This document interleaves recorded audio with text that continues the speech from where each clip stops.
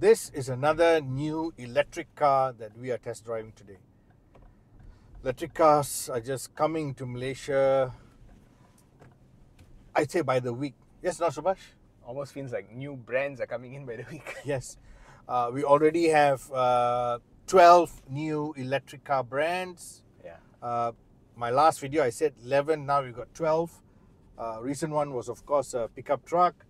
And now, this is not a new brand, but a new model electric car. And I'm covering up the logo because I want to I want to see the people viewing this video, the first minute or so, can they guess what we're driving? Because this looks very, very familiar.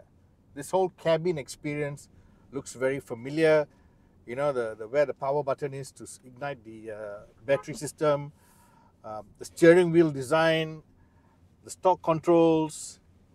And this familiar nanoe X. Yes, yes, yes, yes, yes. You see one look at this, you know which premium car you're in. Yeah. So this, yes, right word, premium electric car. So I'm going to remove my hand right now so that you all can get a chance to absorb more. It's Lexus. Now, Toyota has an electric car called the BZ4X, but this is the Lexus 450e. RZ 450. Lexus RZ 450e, which means it's about the same as the BZ4X. It's actually the same chassis.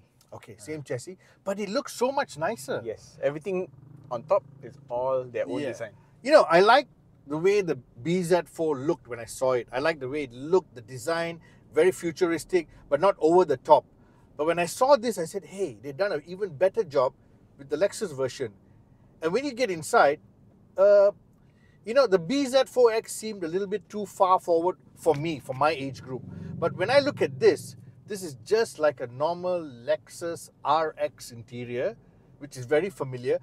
And I have to say, like, starting from the screen, I love the fact that it's okay. We like large screens, yes, but it's flushed on the dashboard. Yeah. It's not sitting out there. It doesn't have any fan- fancy gimmicks on it. Yeah. Straightforward, right there, large enough to see. And you got physical buttons. Important functions like this got physical function, volume, aircon, Yeah. the mister. And persistent aircon controls. No matter Yes. what you're doing up here, This the aircon remains. controls are always there. Yeah, this is all very important because why? When we're driving in traffic like this, this is purposely why I came out right now in traffic. You don't have to look down to work your volume and your aircon. I'm looking, I'm still looking up. Whereas if I had to work it in the screen, I have to look at the screen. Correct. And this is what I think a lot of new car manufacturers, especially electric car manufacturers, coming from China, seem to not get it. You know, they don't get it.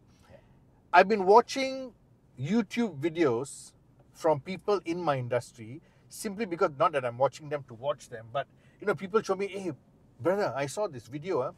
What do you think of this car? And then they show me, you know, it's, it's a it's a competitor, and they all say, wow, we love the the screen. Oh, we can do everything on the screen.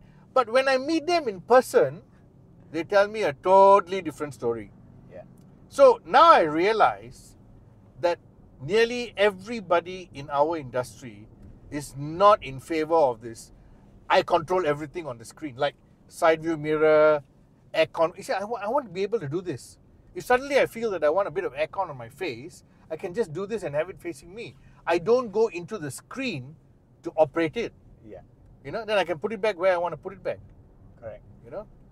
This is all. Uh, the the problem is, I think, premium has been co-opted by the tech segment.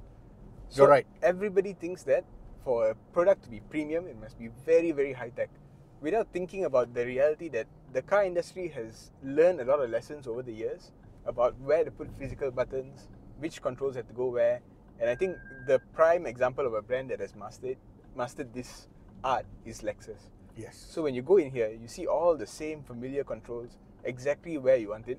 These are things that, as a owner of an electric vehicle, every day you're driving it, it's things that you shouldn't have to think about. Correct. And when you have everything in the screen, you have to think about it every single time. Yes. And when you have someone new driving the car, like say a family member who's not familiar with the car, say you have a few family members and all drive their own cars, when they get into your car, they got to learn everything. Yeah. With something like this, you don't actually have to learn it. Correct. You know, for your for your major functions. And what are major functions?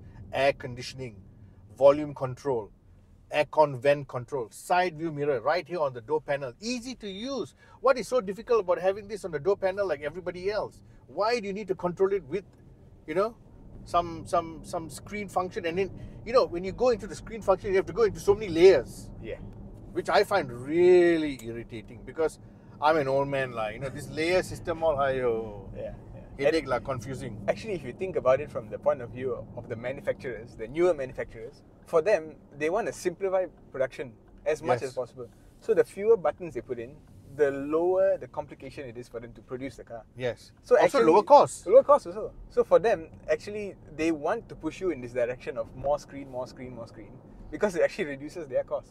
Mm. Whereas when you put buttons like this, you got to buy all the switches, you got to make sure everything is calibrated, meets QC and all that. yes and everything has to be connected Yeah. but come on lah aircon vent lah let the me most basic this one is just one small lever lah you have to put wiring behind motor system everything and then that's something to go wrong in the future you know Correct. This one, uh, at the most, also after 15 years, uh, one might crack, you know, Yeah. and then one might get out of shape. That's about it. you And know. you'll still be able to use it when it's broken. exactly, broken. exactly. Like my some of my old cars, I still can, you know, Yeah. sort of make it work, lah. Put some cellophane tape, lah. You know? Bit of if- super glue inside. yeah, but if it's if it's controlled by a screen, you can't you can't fix it. after your fifth year of uh, ownership, when the warranty is over, you'll be thinking, should I replace this for two thousand ringgit Correct. or put that towards my deposit for my next car? That's all little things to pressure you to keep buying new cars every five years Yes, on the yes. modern cars. This is the problem, and it will not go away. Yeah.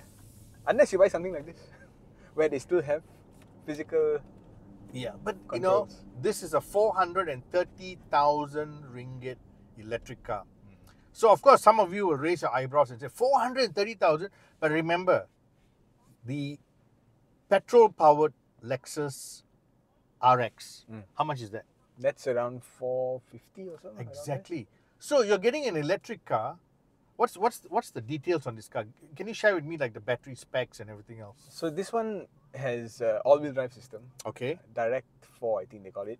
Uh, the front motor and the back motor are a little bit different power output, Okay. but altogether you get about 313 PS, Okay. 313 horsepower. Yes. So actually, for a Lexus vehicle, even though the RX is close to this in pricing, this has a lot more horsepower.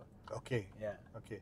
Battery driving distance? Uh, about 430, 450 kilometers. You can stretch it a little bit, Mm. Okay. but um, It's about it's about everybody else lah. Ah, it's a, it's about that. lah. It's the bare minimum, I would say. 400 kilometers is the bare minimum, Okay. and this is a little bit more than that. And I noticed the Japanese, when they give you a figure, they're quite conservative. Correct, because the Japanese keep consistent with the use of WLTP nowadays. Okay. Whereas with the Chinese manufacturers, one will use NEDC, one will use CLTC, Yes. and all of this, you- all of those uh, standards, you have to plus minus a little bit. Correct. Usually, you have to you have to minus off about 20 percent. Yeah, I, I've, I've had to minus quite a bit in, on some of the electric cars because when I got the car, the, the, the range was very impressive as as advertised by them. Yeah.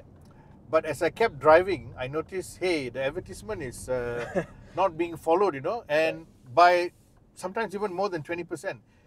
And some people will say, oh, you know, you're driving fast, you're being ridiculous. or- We don't do the Genting run, we don't do the Bukit Tinggi run. We just drive around the city like how we're driving now. What a normal person will be doing daily with their petrol car or diesel car or electric car is what we feel is the best way to test drive a vehicle to share the impression with everybody. Yeah. You know? So like now when we drive this, what is important? It drives like a normal Lexus. Mm. It's comfortable, it absorbs the bumps nicely, it's got nice firm braking. Yes, it's got good acceleration, but I'm not interested in how fast it'll accelerate because I think something like this is just, you know, the first week when you buy, you play with it. lah. Yeah, After that, you don't want to suck so much power out. You don't, you don't need to. yeah, yeah. Just drive it normally. And it doesn't have that absurd amount of supercar level of power, Correct. which is completely unnecessary. and dangerous. and dangerous. And you know, a lot of the EV manufacturers are just giving it for 200,000 ringgit Correct. to an audience that is not prepared for that kind of power. Yes, and if if you happen to get someone who says, "Oh, can I test drive your car?" or you know, uh, uh, a young adult in your family who says, "Oh, I want to take your car a little while," they will be overwhelmed Yeah. with that kind of power delivery. You know, three seconds, four seconds, five seconds, and that's why I think I've I've started to see some electric cars having fender benders on and then being you know taken away on tow trucks and and flat flatbeds because I think some people have not absorbed that kind of power easily. You know what I mean? Yeah, yeah. They, they are basically those kind of cars don't teach you how to drive at all. Yes, yes. They just teach you how to have a short amount of fun, and then when the corner comes, you have to leave it to the electronics. Yes, yes. I mean, they got great electronics, great safety features, but come on, you don't need that much power. You really don't. This car has just the right amount of power. Actually, anything more than 300 horsepower, I think, is not safe for public roads, unless you are a really well-trained driver. Exactly. Or you're driving a supercar Yeah. because you wanted to buy a supercar. All these electric cars now have supercar performance, but they're crossovers and SUVs and big, and they're big and wide because of the battery packs. They're all big and wide. Yeah. This one is about the right size, you know. Like a little bit bigger than your typical C segment uh, crossover, Yes. but not that gigantic D segment uh, SUV correct. size. Correct. And because its package is a little bit more different from your typical ICE uh, vehicle, we actually have a good amount of usable room. Mm. Like I'm looking at MD at the back there. He's got tons of legroom. Yes, that's the beauty of electric cars. Yeah. Legroom at the back is always more than adequate. It almost feels bigger than the RX at the back. Yes, because the battery pack is sitting flat down there, and you don't Yeah. have the drivetrain.